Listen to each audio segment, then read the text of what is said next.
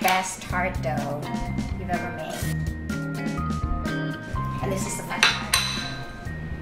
It's like playing with Play-Doh. It's really fun. If you like to bake at home, this is gonna be the best $5 you've ever spent. And now I'm gonna put water in. Just pour it right on there. And just fold it over.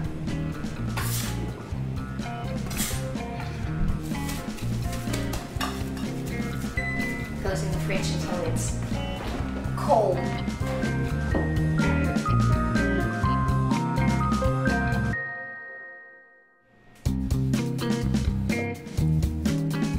So now what you want to do is just rolling it out like a book.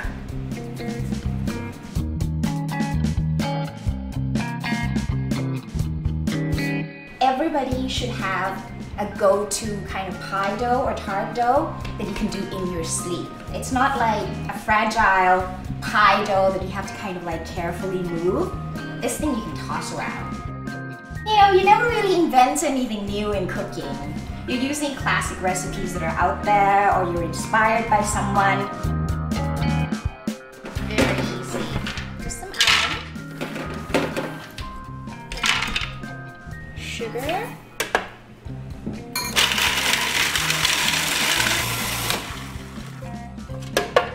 Oh, that's really lovely, the smell of the roast almonds. Working from whole almonds give you such a much better flavor than working with almond meals you can buy at the store.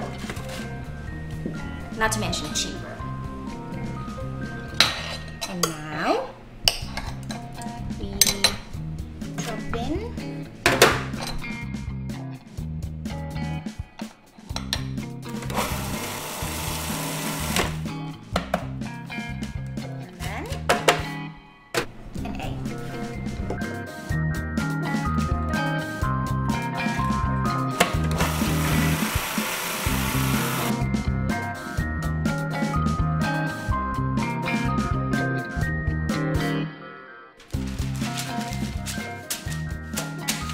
to bake it under parchment paper, make it a little bit easier to move after it's done.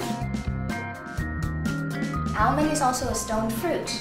That's why the flavor of almond goes so well with nectarine tart.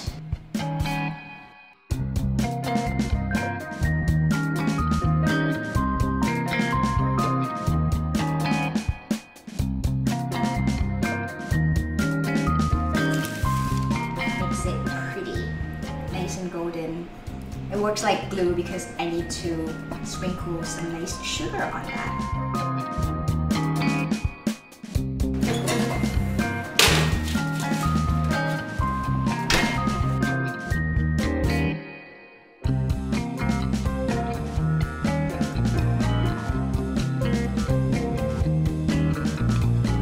Ah, it's beautiful.